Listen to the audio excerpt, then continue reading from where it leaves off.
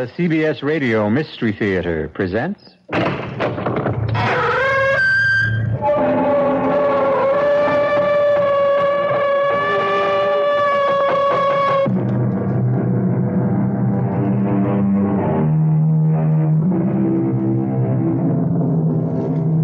Come in. Welcome. I'm E.G. Marshall. May I be your guide once again for that trip through another world, a world of the weird and the unusual? Consider, what we are pleased to call science is based primarily on our observation of cause and effect. So, we say the rooster crows to herald the approach of dawn. But what does the rooster think? From his point of view, isn't he justified in believing that the sun rises because he commands it? In the final analysis, it all becomes a matter of perspective, doesn't it? Hello, darling. Hi, dinner ready? Just about. Did you have a good day? Yes. Oh, I'm so happy, Carlotta. Does that mean you finally straightened out the problem that's been bothering you? Yes, I found out how to get rid of it. Wonderful. How? Like this, Edmund. Mike, what are you doing with that gun? What are you.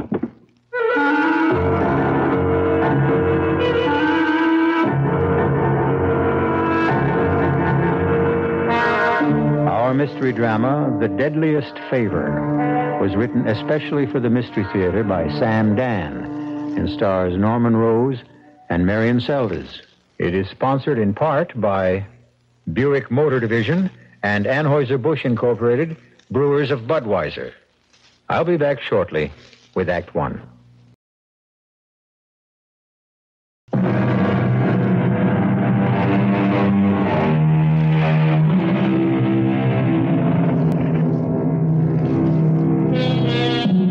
The poet said, He that dies pays all his debts. And while this may be true, it is neither a practical nor a popular way to discharge one's obligations. And yet, how can we ever hope to pay the vast accumulation of debt that accrues during our lifetime? Well, this has nothing to do with money. We refer rather to the true obligations when we ask, can anyone live long enough to repay all the favors extended, all the kindnesses shown, all the comforting words spoken by friends and strangers?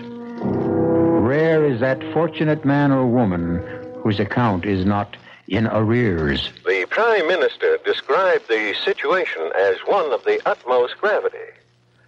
And now, let us go to the West Coast, where they are having a fantastic premiere of that super sensational million dollar epic, Kiss of Blood. This is a premiere like they had in the good old days. Everybody who is anybody is here. Yes. Oh, yeah. That's a long way from here, Carlotta, baby. a long, long way. I made myself this bed. I'll just have to learn to like it. Live with it. Hello, darling. Hi. Anything exciting in the news? Uh, man said there's going to be a war, I think. Well, that's not new. Hungry? Mm-hmm. Steak and salad, okay? Okay. Uh, do you have a good work session? No. Oh, I'm sorry. What's the problem? I don't know. That first draft is due in two months, Edmund. I just can't seem to get it down. Well, why not? I can't concentrate. Up here, a million miles from no place. Maybe that's why. Well, but you're the one who wanted to get away from the hustle and the bustle and the hurly-burly. Uh, believe me, I don't miss it. I'm I'm happy to be up here Then why can't you write? because, well, Carlotta, because I've I've got a guilty conscience. I feel guilty about you. Me? See, I don't need people. I don't need parties, a theater, opening nights. I don't either. But Carlotta, you were always so. I was always what? always in the middle of it, in the in the middle of a whole world of excitement and glamour. No, no, darling. I wasn't in the middle of it. I was on the fringes. I was merely one of two million four hundred and seventy thousand aspiring young actresses. and that's just one year's crop. Yeah, but I have a feeling it must be so dull for you up here. Dull? I can read, I can paint. And I get the feeling that I'm dull, too. Edmund. No, dear, let me say this. I'm. I'm just a writer. Just a writer. You're the best. And most... I'm not even the kind of writer who gets his name in the paper. Well, not the part of the paper anybody bothers to read. Oh, darling, you mustn't run yourself down. My book, my latest book, what is it concerned with? you said you'd explain it to me. Well, in this book, I explore the pupal and the larval stages in the development of the caddis fly. Oh. Exactly. Oh. Oh, but I'm sure it must be very interesting. Really? To whom? Well, to to those people who would be interested. mm-hmm. Well, you find it exciting, don't you? Well, yes, because it is exciting. You see, Carlotta, the, the caddis fly encloses himself in what he thinks is a golden protective sheath. But in reality, it's his coffin. Ah, that sounds good. And the fish, the fish that prey upon him, they also meet their doom. That sounds even better. Because the fish, in their turn, are eaten by other predators. Well, you got plenty of action. And listen, the largest and most powerful predator is man. Consider how we, in our turn, are eaten, not by stronger carnivores, but by our own artificially induced anxieties and tensions. But that sounds great. Uh, yeah. But it's not the kind of thing that'll head a bestseller list or get me on the talk shows. Is that what you want? No, but. But what? Well, I have an idea. It's what you would want. Edmund, I'm happy. I'm very happy. I've got you, and you're everything I could wish for. Come in. Oh, Sheriff. Afternoon, Mr. Churchill. Miss Churchill? Well, you're just in time for dinner, Sheriff. Well, thank you both very kindly, but I happen to be here in line of duty. Oh, do you mean there's a possibility you may have to arrest me or Mr. Churchill? or maybe both of us. No, I, I don't think so. what can we do for you, Sheriff? Well, now, Mr. Churchill, it's about an old friend of yours named Mike Perry. M- Mike Perry? The Mike Perry? Killer Mike Perry. He's a friend of yours, Edmund? That's what we've been told. Well, you learn something every day. After all these years, they finally did catch up with Killer Mike. They got him on a charge that can stick. And what does he go ahead and do? Smooth as you please, he just busts his way out of jail. And he's here? He's up here? Well, no, he probably ain't up here. Well, then why are you. The big city cops and the federals, they went and compiled this list of all his friends. You were one of his friends, Edmund. Oh, well, 20 years ago we went to school together. And that's what I mean. We've got to run down those leads. You uh, seen him around here, Mr. Churchill? Oh, no, Sheriff. If you do, you'll get in touch. Certainly. Well, I just done my day's work. Drive 20 miles up to see the Churchills. Ask my two questions, and I'll drive 20 miles back to town. well, I'm sorry I bothered you, folks. That's quite all right. Oh, drop in again anytime. Well, goodbye now, and have a nice evening. Oh, uh, are you going to take part in the annual fly casting contest a week from Saturday, Mr. Churchill? You couldn't keep him away. Well, I almost won last year, remember? Well, Frank Miller over at the motel asked me to remind you. You haven't sent in your entry fee. It's got to be paid by tomorrow. All right. Thank you. I'm not going to be disqualified on a technicality. Uh, would you take the money to him, Sheriff? Oh, sure thing. Uh, darling, do you have 5? dollars Mm-hmm. It's gone up to 10 this year. We have twice as many prizes. Oh, well, here you are, Sheriff. Right. Well, let me know if you hear anything or see anything. Good night. Good night. Edmund? This gang leader? This Mike Perry? How could he possibly have been a friend of yours? Well, we were roommates in college. No. He's an educated man, Carlotta. Then how could he. Rob? Kill? I don't know. And how could you associate with a gangster? Well, he wasn't a gangster in those days. Actually, he was a history major. Oh, darling, do you know something?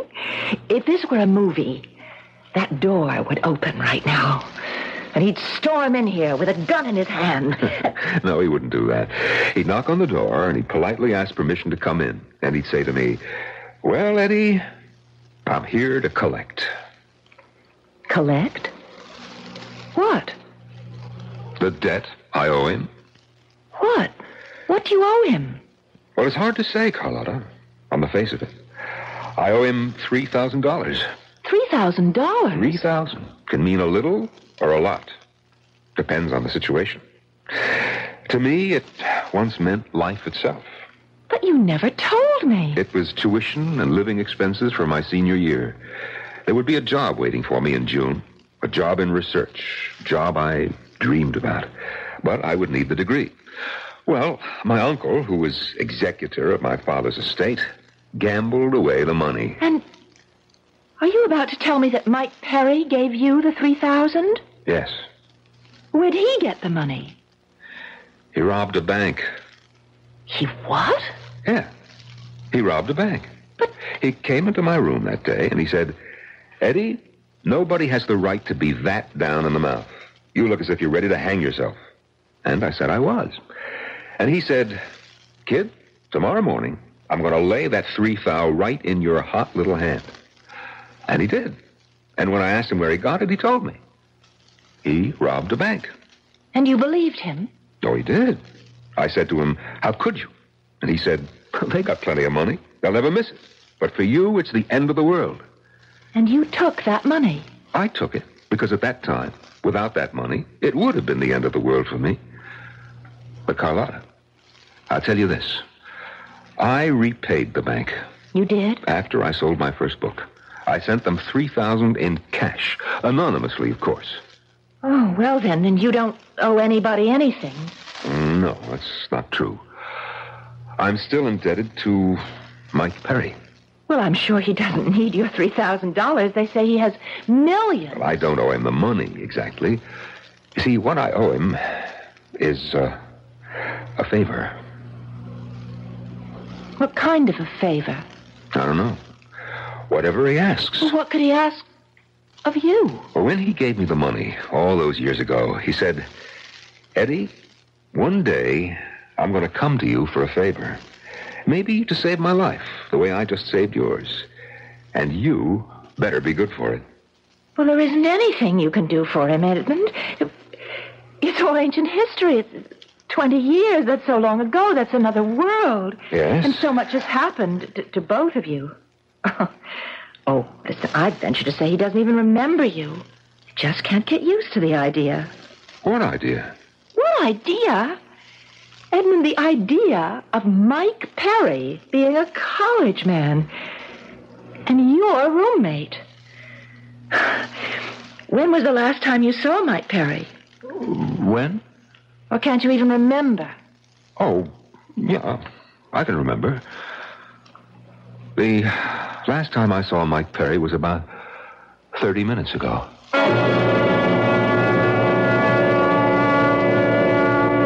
Look out for the quiet people. At any rate, Mike Perry, a lord of the underworld, has come to this remote mountain area to collect a debt. A debt of 20 years standing. But is Edmund Churchill ready, willing, and able to pay it? I shall return with further news of the principal and interest shortly in Act Two.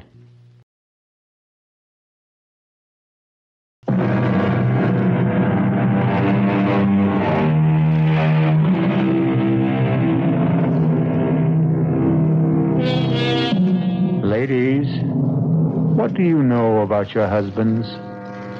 To Carlotta Churchill, Edmund, her husband, was mild, self-effacing, unassuming, a writer of books on nature. Now she has discovered that Edmund is providing refuge for Mike Perry, an underworld overlord who is a fugitive from justice. Why? Well, it seems the two men are old friends. He's here? Mike Perry is here? Yes, Carlotta. Where? In my studio, above the barn. Then, then you lied to Sheriff Parker. Yes. But, but, well, we, you and I, we're not, We're, we're not what, Carlotta? we're not the kind of people who, who, who assist gangsters, killers. At one time, Mike Perry did me a favor. Now he's calling it in. But the law, the law, Edmund. Yes, yes, I've thought about it, and, well, sometimes you just have to. It's wrong. It's wrong. It's not the point. Are you telling me that we are going to shelter this murderer? I'm telling you I have no alternative as a man of honor. Honor? What has honor got to do with this hoodlum? How can you pervert the word honor? Honor is a personal thing, Carlotta.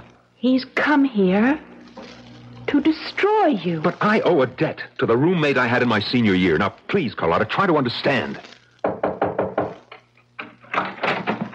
I hope it's okay to come in. Oh, yeah, sure. Sure, Mike. Come in. Uh, Carlotta, this is Mike Perry, very old friend. How do you do, Carlotta? Well, I must say, Eddie, your taste has improved since we were undergraduates. Mr. Perry, my husband is under the misguided impression that he is somehow obligated to you. That's his affair. If I had my way, I would call the police. You would? Why? You stand for everything I find evil, vicious, and depraved in our society. Well, surely not everything. Uh, well, darling, why don't I help you with dinner, huh? I'm particular with whom I break bread. If you care to feed Mr. Perry, you'll find something in the refrigerator. Meanwhile, you'll excuse me, I have a headache.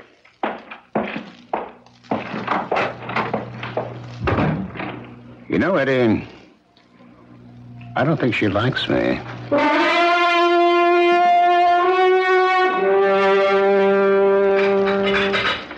Uh, good morning, dear. I prepared breakfast. Just coffee for me.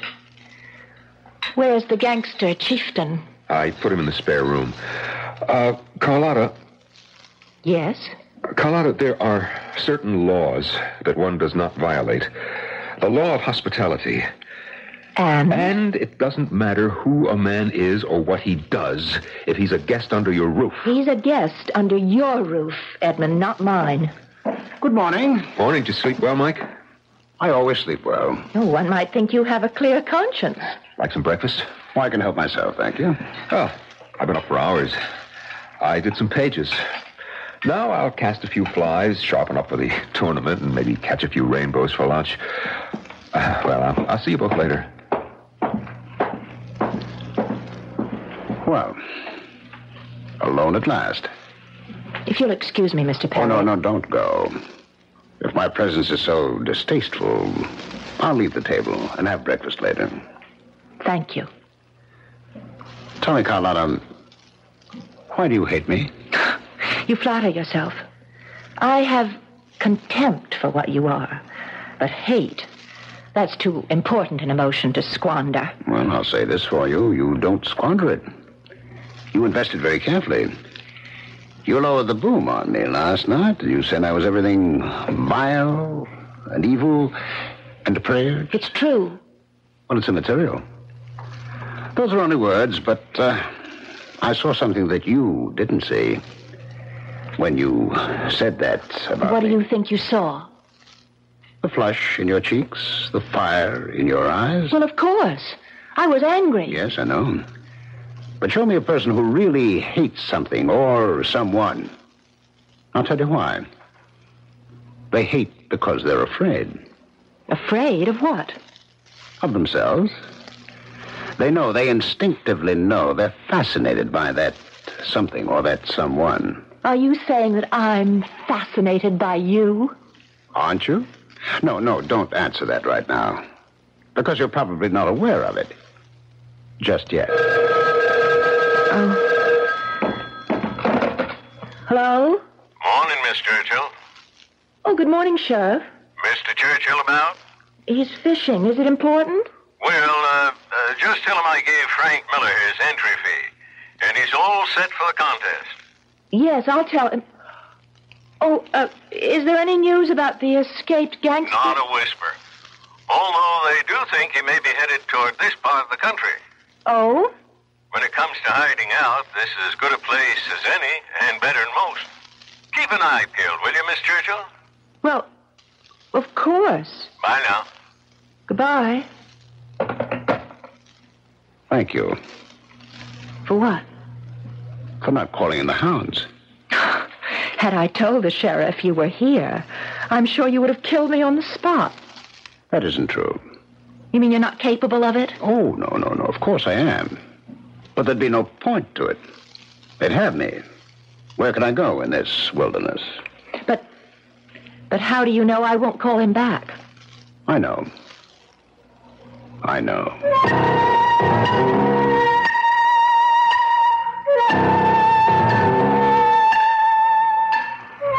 Hmm. You've got a good highlight on the cliffside there. And your shadows are remarkable. What are you. What am I doing here? Well, I thought I'd take a walk. You're not a bad painter. What would you know about it? Oh, I'm quite a patron of the arts. Haven't you heard? Oh, I can imagine. No, no, no, no. People like the Medicis and the Borgias, they robbed and they killed. Yet they practically financed the Renaissance. You know, you have delusions of grandeur. Why did you quit? Quit what? The theater? I was never in the theater. Oh, that isn't true. I saw you in a play. It was ten years ago. I'll never forget your performance. You have developed flattery into a fine art. It was a great performance. What happened? Nothing. Tell me the truth. I told you, nothing happened. I had a bit part in an off Broadway play. I had one scene and I stole the show. And the critics raved and. and that was the end of it. It couldn't be. I never got another job. That's impossible. No, it's. It's the way things can work out or not work out in the theater. So I decided to go back to school and get a degree and maybe teach. And you married your professor. That's right. And you've been miserable ever since. That's not true. Now go ahead, tell me. Tell me you've been deliriously happy. Nobody is deliriously happy in this world. That's not true. I am. You. Oh, yes. Because I live. Every second of every minute of every hour. I have everything I want. But you can be shot down at any time. And you can get hit by a truck. You abdicated from life. I'm reconciled to it. Reconciled, you. I saw you on the stage. I saw fire and ice. Excuse me. Uh, where are you going? I'm, I'm going back to the house. I, Yes? please, I, I said I'm going back. Well, of course. You know why? You're afraid Afraid of what? of this. Let go of me. Please let go. Oh, now, who are you kidding? Let let. Oh, Now, I'll let you go. I despise you. Oh, sure.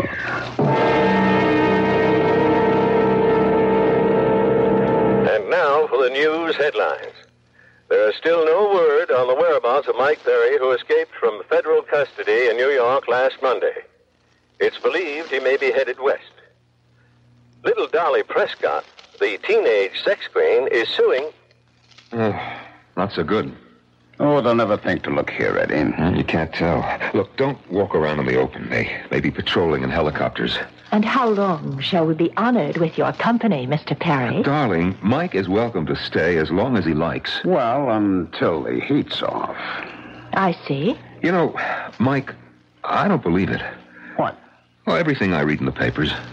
You should always believe what you read in the papers, even if it isn't true. You never killed anybody. No one could ever prove I did. You are the same guy I went to school with. Sure? I mean it. well, I don't know what's gotten into me, but I'm writing again. 26 pages yesterday, and nine this morning already, and I'm, I'm, I'm going to get back to that typewriter. Uh, will you both excuse me? Oh, sure. You know how it is when you're hot. See you good people at cocktail time. Well, I'll, uh, I'll have to get out of here. Where will you go? Well, don't tell me you care. I. You know, I have an idea. There's going to be some heat here. It's time to make a move. The big one. Well, I'm prepared for it. I got the place all set up. There's only one thing missing. You know what that is? I I'm not interested. Well, you should be. It concerns you. Listen, Mr. Perry, get this straight. Nothing you do concerns me. You're coming with me. Where? Ah, I caught you. Your instinctive reaction was not to say no, but where? We're leaving the country. What makes you think? I want you. And I get what I want. It's that simple. And besides, you want me. What gives you that idea? As of right now, you don't have the courage to take what you want. It's all right, I'll help you. And what makes you think I want you? You mean you want what you've got now? Eddie? This hermitage a million miles from nowhere? I. I'm happy. Oh, yes, doing what? Every year that goes by is wasted. Soon you'll be old. Too old. Where are you running to? You see, your problem is with timing. You quit the theater too soon. You stayed with Eddie too long. Make your move now. You'll never get another chance. Please. Please keep away from me. Why? Because. be- Because I'm right, huh? You know the poem? Full many a flower was made to blush unseen and waste its fragrance on the desert air. Don't waste the fragrance, baby. Don't. Mike, I. I. That's better. Oh, that's much better. What about. What about Eddie? Eddie? Oh, we'll take care of Eddie. What are you saying, Mike? I'm saying we'll just let things work out. No, no, no, no. Don't move.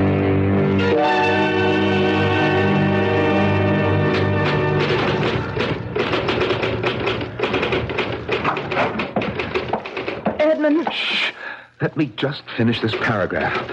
I know just how I want to say this, and if I stop, I. I... Carlotta! What did you do? I want you to listen to me. You could have torn that paper. Edmund, please. Please, I beg of you. Pick up that phone right now. Why? Do it. All right, all right. Now, when the operator comes on, ask her to give you the sheriff's office and tell Sheriff Parker that Mike Perry is here. Carlotta, how can you ask me? I won't ask you again. I should hope not. I won't have the strength. You know, I don't understand you at all. Please call, please, before it's too late. Too late for what? Too late for what? Nothing. Nothing. You mean you became so excited over nothing? I tried. Oh, Edmund, I tried. Whatever happens, at least I did try.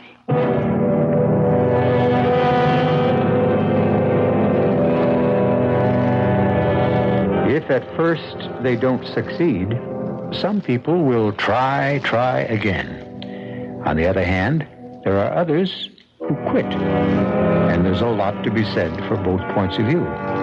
Will she try again to convince Edmund? If so, how hard? Everything will be revealed in good time when I return shortly with Act Three.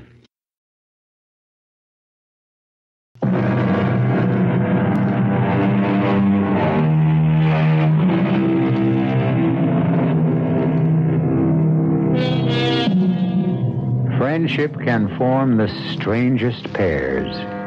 And one of these is Edmund Churchill, a writer of nature books, and Mike Perry, a notorious gangster. Right now, Mike is hiding out in Edmund's secluded mountain home. And far from being bored by the solitude, he is quite happy. Why not? Edmund has a lovely young wife. And as they say, all's fair. And then Mike said to the professor, Sir, there is every reason to believe that the Arthurian legend is based on fact. Furthermore. Furthermore, I must have been a bore in those days. Wait, wait. What is it? Hear that outside? It's a car. Who is it, Edmund? Coming up the hill. It's the sheriff. What would the sheriff? Mike, go to the spare room quickly. All right. Oh, Edmund, the ashtray. Get rid of it. Everybody knows we don't smoke. But it's no good. The smell will still be in the. Oh, okay. Give me one of Mike's cigarettes. Yeah, okay. Leave the pack on the table, and I, I, will say I started again if you notice. No, wait. Wait, something must be wrong. What? I don't understand why. Edmund, the table's set for three. Uh, come in. What did you say, Carlotta? Table is. Oh, uh, hello, Sheriff. Hi, folks. How's that casting arm, Mr. Churchill? Oh, it's, it's first rate. Well, you people having company? Table set for three, I noticed. It's lunchtime. I saw your car coming up the hill, so I set another plate. Join us? Hmm, Don't mind if I do. Mmm, that platter of roast beef looks great. Uh, Sheriff, what's going on? well, tell you, I figure Mike Perry's gonna head this way. You do? Why? Because he's that type of person. He does the unexpected. Goes where you'd never dream to look for him. But to come here? Every place else is red hot. And my theory is he's headed this way. Hmm?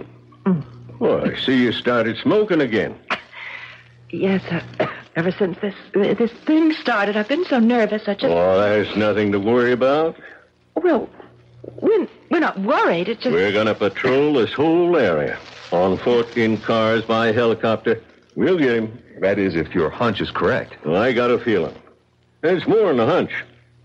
It's based on a pretty fair analysis of all the known factors. Now, could I trouble you for a slice of that terrific roast beef?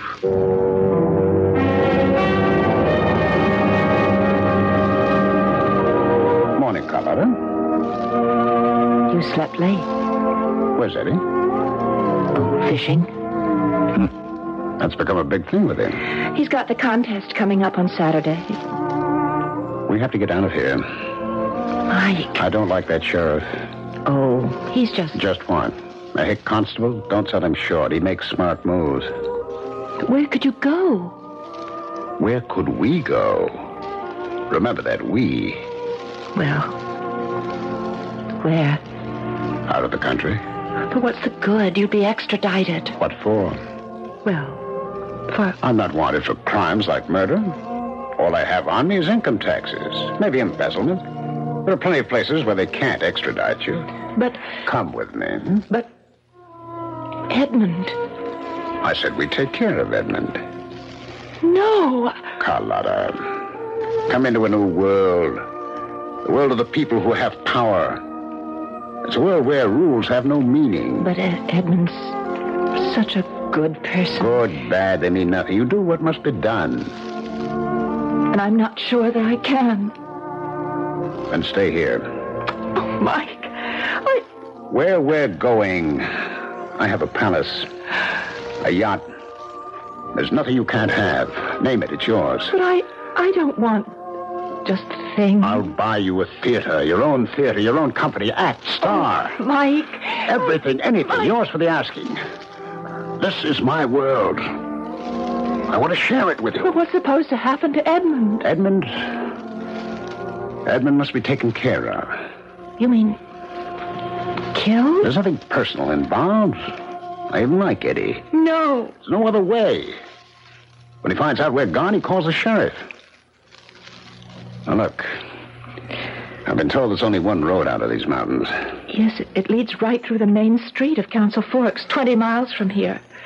Well, we'll have to chance it. No, no, it's dangerous. At night, late, I'll wear a hat. I do look a little like Eddie. We'll be moving pretty quickly. Yes, we'll go as soon as it gets dark. The stores will be closed.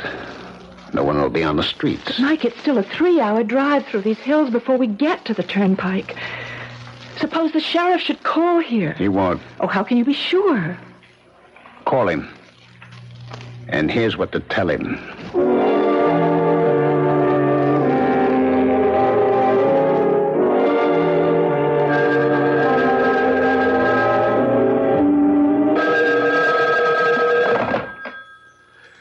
Sheriff Parker speaking.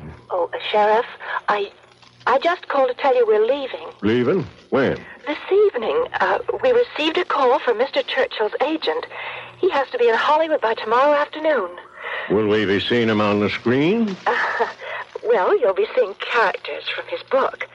Well, good luck. And we won't be back for, well, I, I don't know how long. Well, maybe it's for the best. Might have been dangerous if that gangster fella showed up. Well, we'll see you when we return. Goodbye, Sheriff. Bye now. Oh, uh, tell Mr. Churchill I'll get back. Miss Churchill? Miss Churchill? Well, I guess she hung up. Uh, it doesn't matter. I can catch them when they come through town.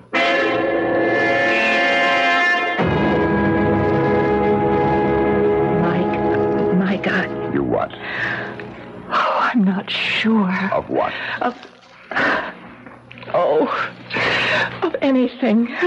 Come here. No, that won't help. Yes, it will. Oh, Mike, I'm so frightened. You should be. You know why? You're crossing the line. Promise me you won't hurt Edmund. Of course. Are you packed? Yes. Okay. When he comes in, you go out to the car. I'll. You won't hurt him. Promise. I promise. Well, greetings.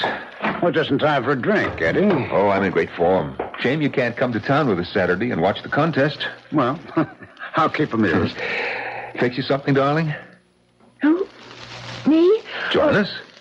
Uh, I don't think so. I, I feel so. I, it's a little stuffy in here. I think I'll get a breath of fresh air. Uh, uh, listen, Carlotta. I, uh, I appreciate this. what? Well, what you're doing. It's plain you have no use for Mike, and you're going against your code of morality. I, I know it's uncomfortable for you, but you're doing it for me, and, well, I think you're wonderful. Goodbye, Edmund.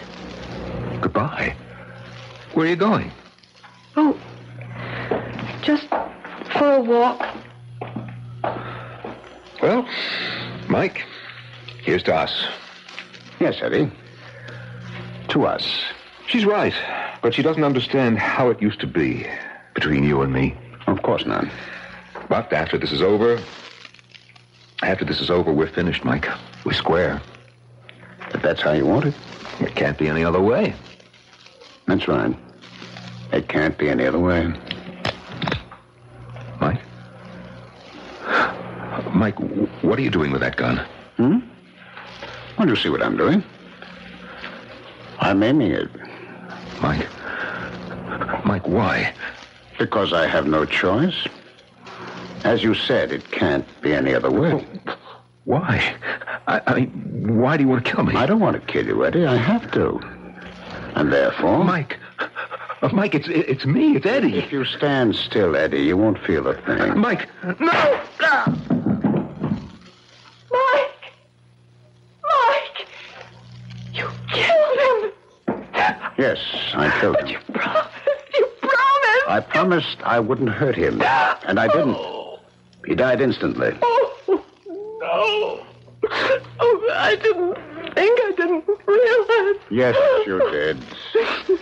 You did. No, I don't, I don't want to go with you. You have to go. You have no choice. You just crossed the line.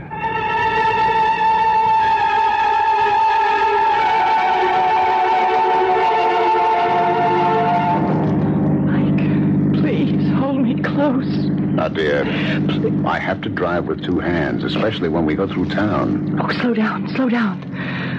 The local cops love to pick up people for speeding. Hmm.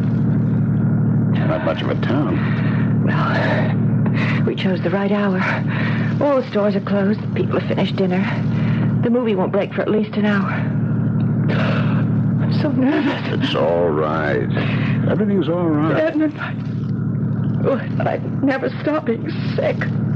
You'll be okay. Up ahead. Is that a police car? It's the sheriff's car. I think somebody's in it. But we we have to go down this street. But Well, why not? He can't suspect anything. It's dark. He won't recognize me.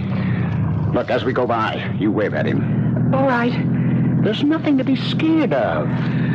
Now, give him a loud, cheerful goodbye. And a big wave. Hi, Sheriff. Hi, Miss Churchill. There. You see? There's nothing to it. We're in the clear. You don't have to look back. Mike, he's pulling away from the curb. Well, okay, that doesn't mean he's after us. Mike! He's following us. Now, don't panic. Oh. Maybe he's heading someplace else. Where? This road leads away from town. There's nothing for more than 80 miles. He's after us. Why? I I don't know. What do you mean you don't know? You know everything. Shut up. He's after us. Look, he's gaining on us. I'll lose him. He wants us. Oh, Hold the wheel. Hold, oh, hold the wheel steady. Steer. Don't shoot at him. I got a gamble. He hasn't No. the radio yet. I can stop No, it. don't. Steer to the right. No. Hold the car steady. They're firing back at us. They're shooting back. Get away from the wheel. Get away from the wheel. And I... Move away.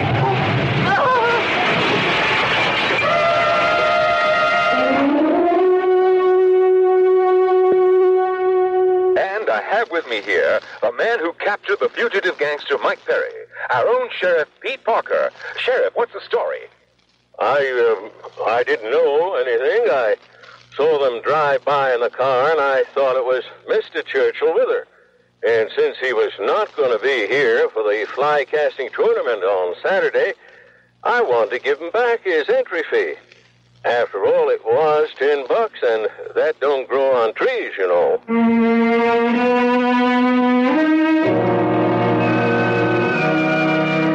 Of course not. But that $10 discharged the debt. And while we don't know who did win that fishing contest the following day, the grand winner should be Sheriff Parker, who caught the biggest fish of all the night before. We're going to catch you for some more Mystery Theater when I return in a few moments.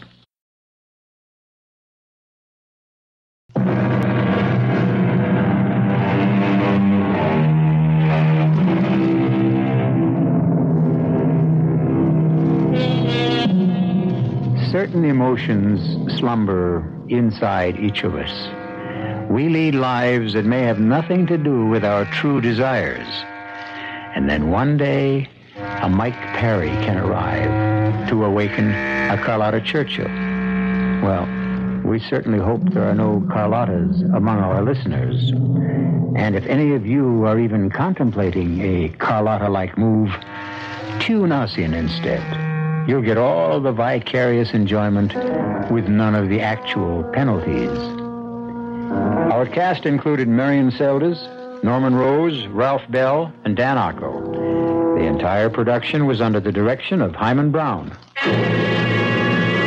Now, a preview of our next tale. What's a young guy like you doing with all white hair? I swapped for it, Mr. Halpert. I can swap anything I got for anything you've got. And what you got is plenty of money. Ah, and years, kid. Too many years. I'll take them off your back. You just say yes. That's all you have to do. Okay. That's enough. Beat it. Look, you gotta believe me, Mr. Halpert. Give me a chance to prove it. You don't have to pay me off until it works. I mean, what would you give to be 26 years old again? A million bucks, kid. That's what I'd give. What kind of pills you peddling? Would you give me a million bucks? Just like that? Just say yes, Mr. Halpert. The rest is easy.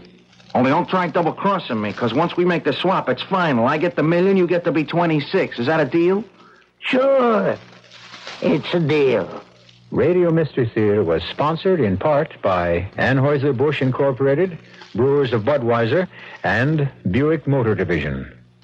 This is E.G. Marshall inviting you to return to our Mystery Theater for another adventure in the macabre. Until next time, pleasant dreams.